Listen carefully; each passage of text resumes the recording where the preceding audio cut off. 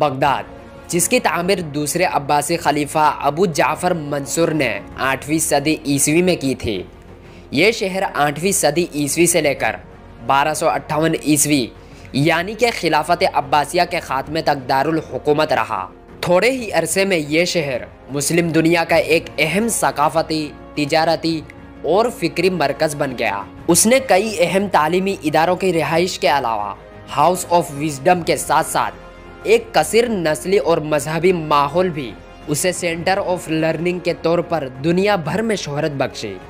लेकिन जूं जूं वक्त गुजरता गया, खिलाफत अब्बासिया अपनी जवाल को गले लगाने के लिए बेताब हो रही थी। इसका गहरा असर इस शहर पर भी हुआ। हक परस उलमा को छोड़कर दूसरे सभी उलमा शिया सुन्नी में लगे पड़े थे। इनके मुनाजरे अब ख़त्म होने का नाम ही नहीं ले रहा था। हुकूमत के ज़्यादातर उमरा मालो दौलत के पीछे इस कदर लालची हो चुके थे कि चंद सोने के सिक्के के एवज अपना ज़मीर और कौम की इज़्ज़त नीलाम कर चुके थे। दोस्तों, आज के इस वीडियो में हम उस अजीम शान शहर बगदाद की तबाही की वो खौफनाक दास्तान सुनाएँगे, जिसे सुनकर आपके रोंगटे खड़े हो जाएँगे। तातारी सैलाब आलम इस्लाम के बड़े हिस्से पर काबिज होने के बाद मदीनतुल इस्लाम बगदाद के सामने कई साल तक मोजे मारता रहा।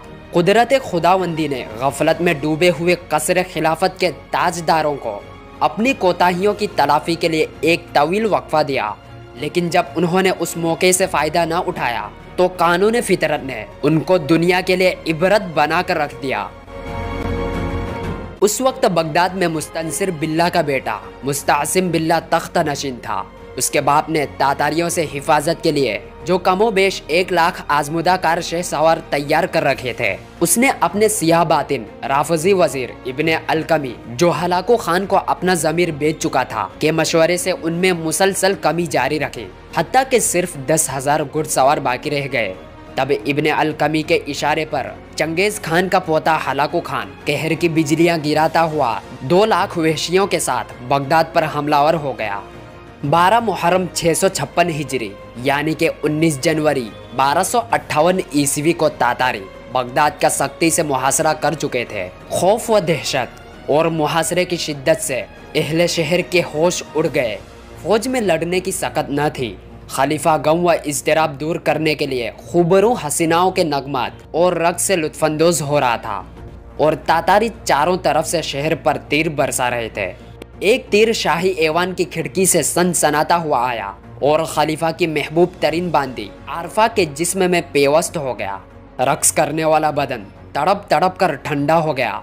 खलीफा ने फटी फटी निगाहों से तीर की तरफ़ देखा। उस पर तहरीर था।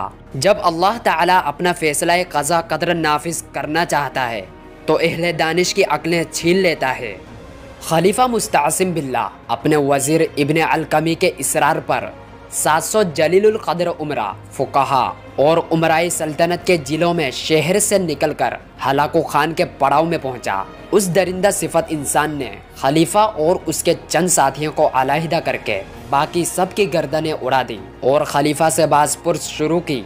उस होलनाक माहौल के असर और अपनी तोहिन के एहसास से खलीफा की ज़ुबान लड़खड़ाने लगी। हलाको खान ने नाकाबिल बर्दाश्त तावन का मुतालबा किया।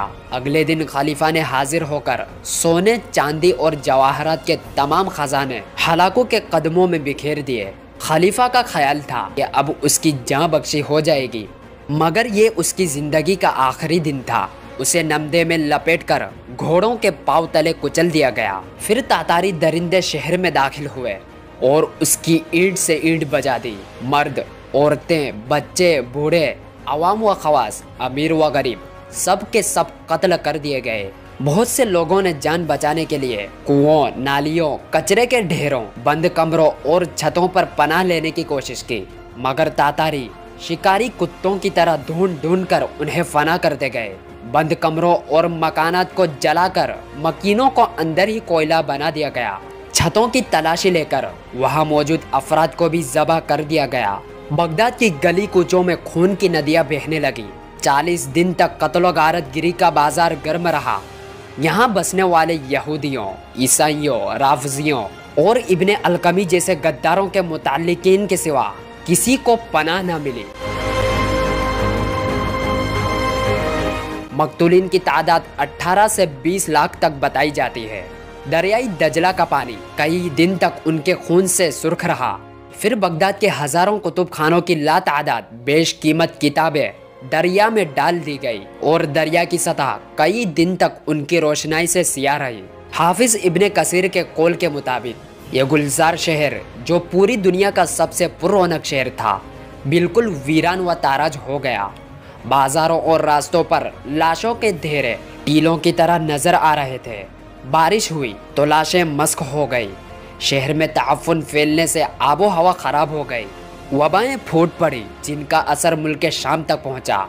इस हवा और वबा से लोग बकसरत हलाक हुए। गिरानी, फना और वबा तीनों का राज था।